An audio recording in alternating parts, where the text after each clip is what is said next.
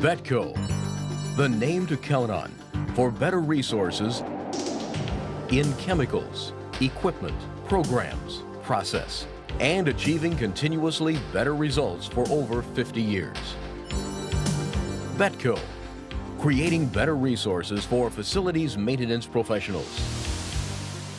Betco Resources and Process Management Training Library, expanding competencies for cleaning professionals.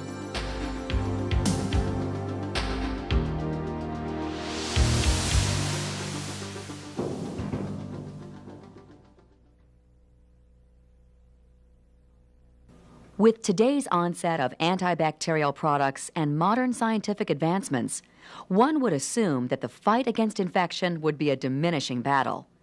In actuality, it just means that new, more resistant disease causing microorganisms are evolving. One major area for concern is healthcare facilities.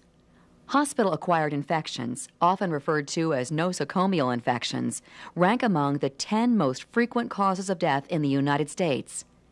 Interest in disinfectant efficacy has increased in response to the growing numbers of nosocomial infections, as well as to the number of immune deficient patients who are susceptible to infections.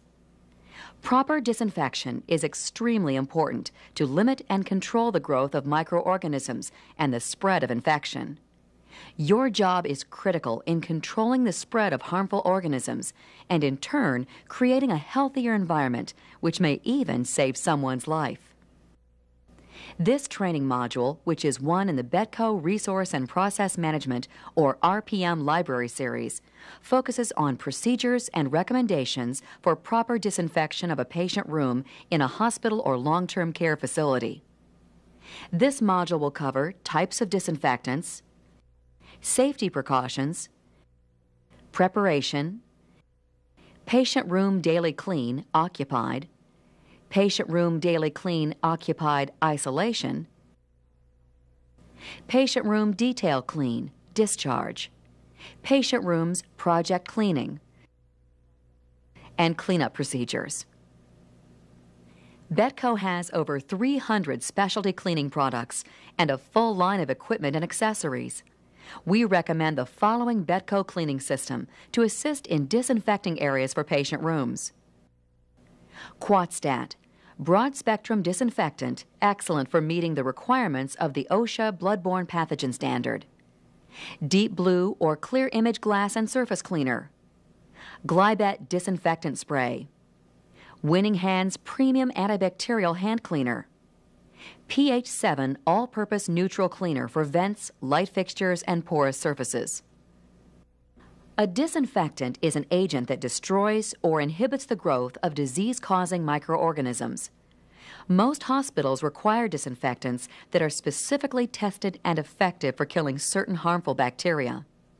It is important to understand the different types of disinfectants that are available.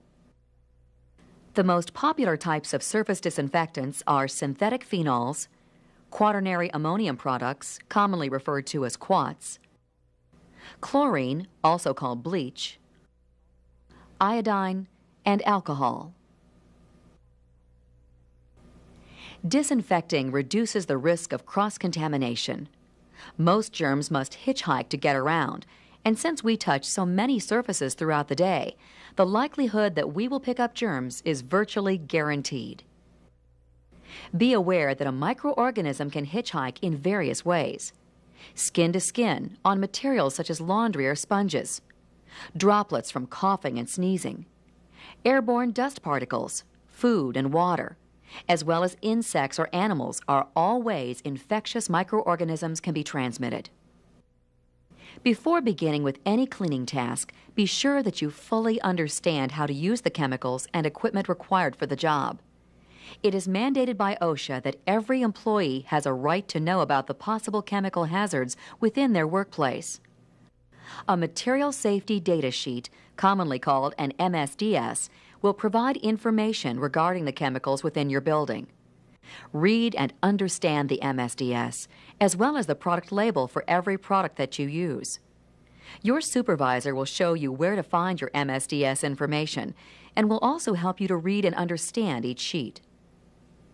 Be careful not to use cleaning chemicals on any surface for which they are not intended.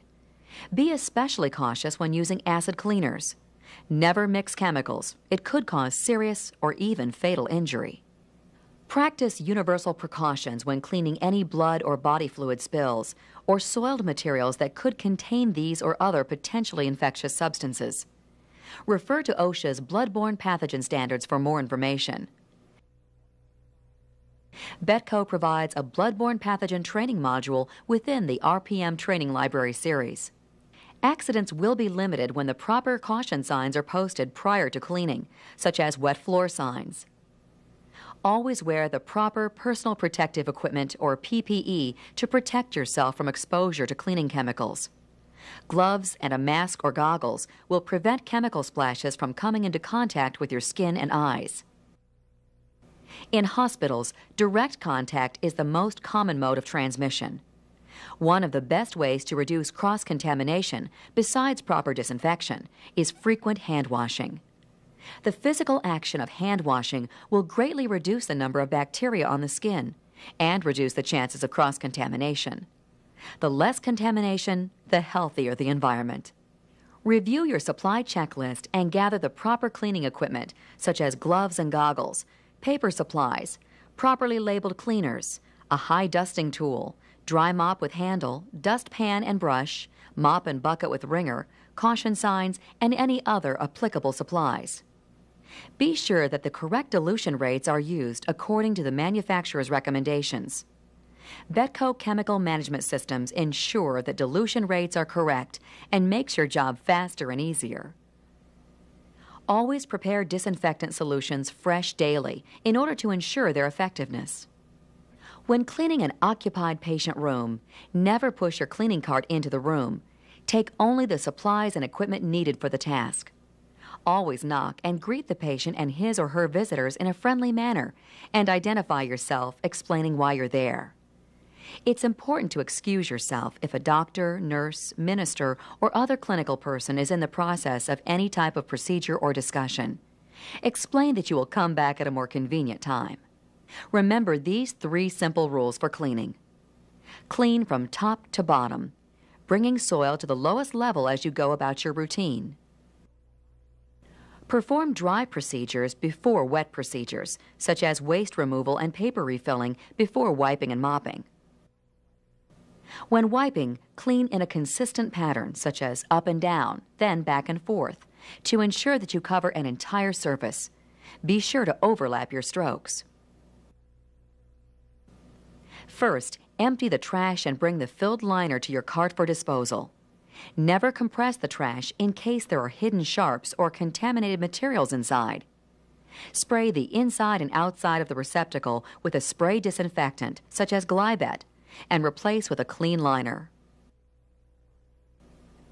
If housekeeping is responsible for infectious waste receptacles, be sure to empty them according to hospital procedure. Follow bloodborne pathogen universal precautions for cleanup of any spills or spatters. Report any damage or leakage to your supervisor. Check all paper dispensers. Clean and refill them as needed. Damp wipe the dispenser with a disinfectant. BETCO's broad spectrum disinfectant Quatstat can be utilized for all disinfecting in a patient room. Spray the outside of the toilet and sinks with a disinfectant. Move on to the next task, allowing the disinfectant to sit for 10 minutes. It's important to come back and wipe up overspray after the 10 minute contact time. Be sure not to let anyone enter the area until you have it wiped. Damp wipe the outside of all furniture, except the patient's bed. Use a disinfectant on all hard, non porous surfaces, such as window ledges and counters. Use a neutral cleaner on porous surfaces. Do not open drawers or disturb the patient's belongings. Where it is necessary to move newspapers, magazines, flowers, or other articles in order to clean, be sure to handle them with care and return them to their original location. Never discard the patient's personal belongings. Beginning at the door and working clockwise around the room, spot clean all visible soil from walls with a disinfectant. Damp wipe doorknobs, handrails, light switches, and push plates with disinfectant. Be sure to thoroughly damp wipe the phone, cord, and dial plate. Do not wipe directly above the patient. This includes the overbed light. Cleaning cloths should be changed frequently to avoid cross-contamination. Return to the restroom and follow Betco Resource and Process Management restroom sanitation procedures. As an additional precaution, use a spray disinfectant such as Glybet on areas that people continually touch, such as doorknobs, push plates, and handrails. Post wet floor caution sign and begin to dry and wet mop the floor from farthest corner to the door. Collect the dirt and debris in a dustpan at the door and dispose of it in your cart's trash bag. Use a disinfectant solution for wet mopping. If there is carpeting, vacuum traffic areas. Properly remove your gloves. Wash your hands thoroughly using plenty of soap, such as Betco's Winning Hands Premium Antibacterial Soap. Before leaving the room, make a final inspection to be sure that furniture and patient belongings are in their original location. Also check to be sure that you did not leave any spray bottles, bags, or equipment. Let the patient, family, or visitors know that you're finished and thank them. Remind them that the floor will be slippery until it's completely dry and ask them to be cautious. It is important to get into the routine of cleaning the room in the sequence indicated in this training. In addition to saving time, working the same way each time will reduce the chances that you might overlook a task or area.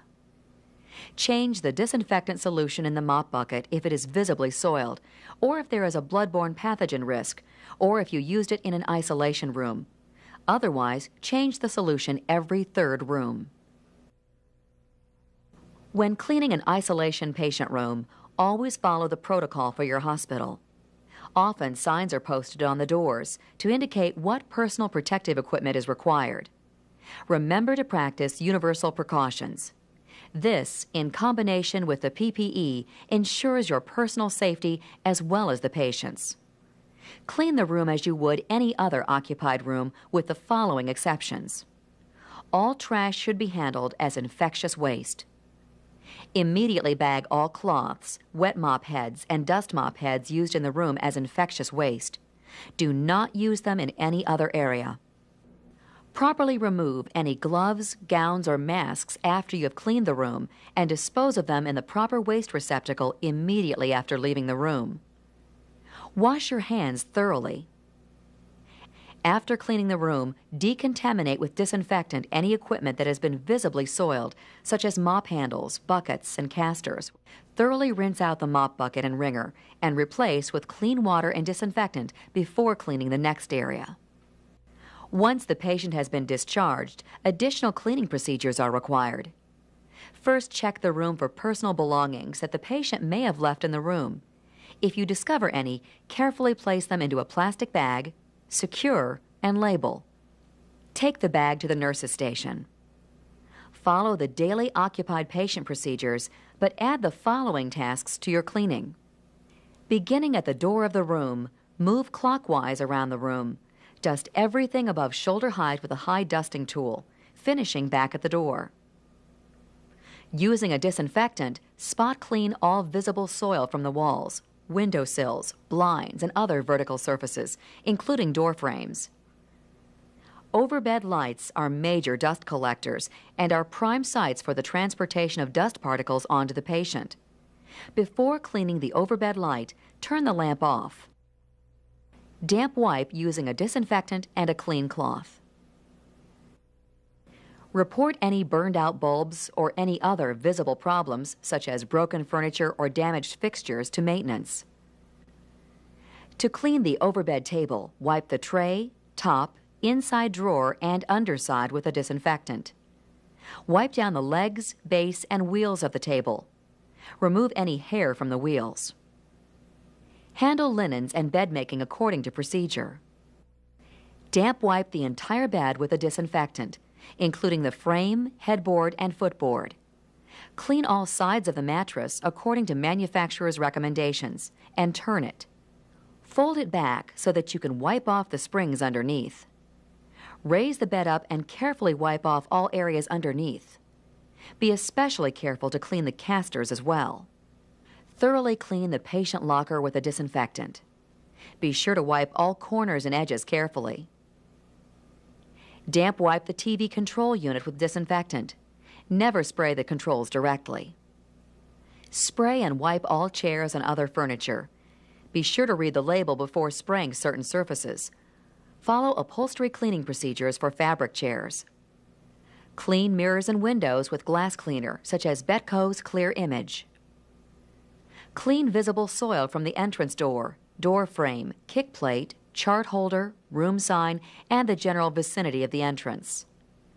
Clean the restroom according to restroom sanitation procedures. Dust mop the floor followed by wet mopping with disinfectant. Pay close attention to baseboards, corners, and underneath furniture. Properly remove gloves and wash your hands. Make a final inspection of the room. Notify the appropriate person that the room is clean and ready for the next admission. Project cleaning is usually completed in conjunction with detail cleaning of the room, anywhere from once a month to once a quarter, or even biannually, depending on the facility's needs. Betco's Resource and Process Management will assist your facility to establish a schedule for project cleaning as well as detail cleaning. In addition to the tasks listed for detail cleaning procedures, the following activities may be included as project cleaning for patient rooms. Strip and recoat hard floors. Scrub and recoat hard floors. Carpet bonnet cleaning or extracting. Grout scrubbing restroom tile. Clean all vents and grills with Betco's pH 7 all purpose neutral cleaner. Wipe down ceiling and walls. Betco provides the complete bundle for any of these cleaning procedures, including a full line of equipment such as auto scrubbers, carpet extractors, floor machines, vacuums, grout scrubbers, and pads. When finished with all necessary procedures and all surfaces are dry, remove any posted signs. Bag the soiled mops for daily laundering. Never leave them sitting in buckets. Remember to disinfect the used cleaning equipment as well. Disassemble and disinfect on a routine basis with QuatStat. In reviewing what has been discussed in this training, you have learned the following. Understand product labels and MSD sheets. Wear the proper personal protective equipment. Follow OSHA's bloodborne pathogen standard with regard to blood and body fluid cleanup. Review supply checklist and stock your cart. Follow a routine for cleaning. Post the proper caution signs before cleaning. Remember these three rules when cleaning a patient room. Always clean top to bottom, clean from dry to wet, wipe in a pattern. Know your daily, detail, and project cleaning procedures and when to perform them. Wash your hands after cleaning a patient room. And be sure to always clean up and wash your equipment at the end of your shift or at the end of a workday. The service you provide is very important to the well being of patients, visitors, staff, and yourself. Be proud of the skills you're developing and know that you truly make a difference in creating a clean and healthy environment.